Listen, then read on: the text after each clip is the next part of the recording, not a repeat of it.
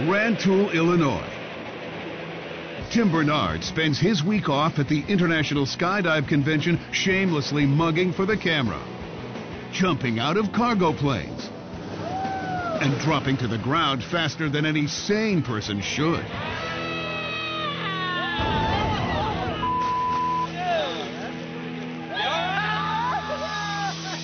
I would say it is the ultimate vacation for skydivers. But Tim soon grows tired of opening up his chute in the same old dives. I needed to videotape something new, and I needed to push the envelope a little bit further. So the daredevil does something so ill-advised and so foolish, it must have seemed like genius to... Well, okay, it didn't seem like genius to anyone. Basically, he tries to fly through one hangar door and out the other, and gets floored instead.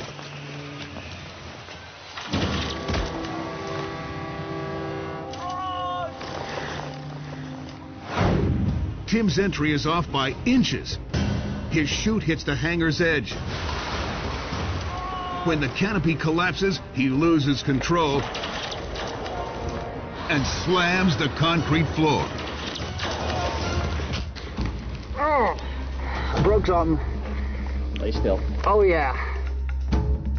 The accident leaves Tim so stunned, even simple math becomes difficult.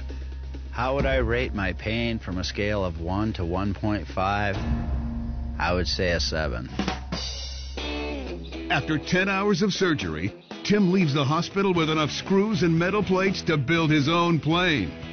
I kind of feel like Frankenstein with all the bits and pieces they put me back together with. but apparently not enough to build a new brain.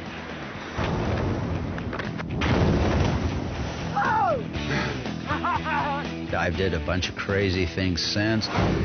Well, seriously, who hasn't did a bunch of crazy things?